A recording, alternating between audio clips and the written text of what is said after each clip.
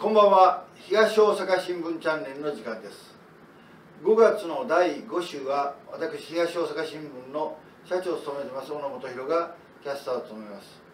えー、今夜は映画案内ということでマリウポリの20日間をご紹介します、えー、マリウポリ、まあ、世界的に、えー、なんか、えー、広がりましたけども、まあ、ロシア軍が攻めてそしてマリウポリが陥落したまあ一言で言えばこういうことなんですけども、まあそこに住んでいる人々がたくさん殺されそして、えー、最初は、まあ、民間人は殺さないとという、まあ、ロシアの発表が全く嘘でどんどん民間人が殺されまあ、そういう状況を AP 通信の記者がずっと、えー、記録するんですね。でなかなかインターネット通,、えー、通信が悪くてそれ届けれない、えー、途切れ途切れです。で最後もう、えー、包囲されてここで出ないと、えー、いけないっていうところで皆が協力してこの資料を外に持ち出してくれと撮影した、えー、ビデオ。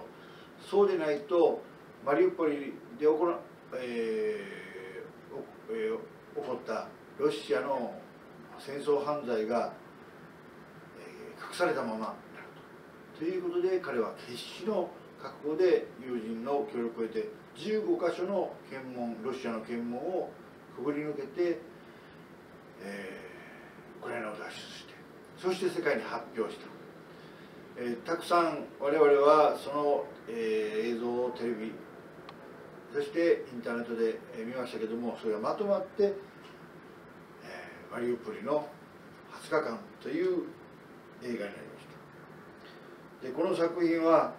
ウクライナ映画史上初めてアカデミー賞を取りました。でも本当はこういう作品はあってはならないという監督の思い。あってはならないけども実際に起こったことを世界に知らせるそういう使命があるということでマリウポリの20日間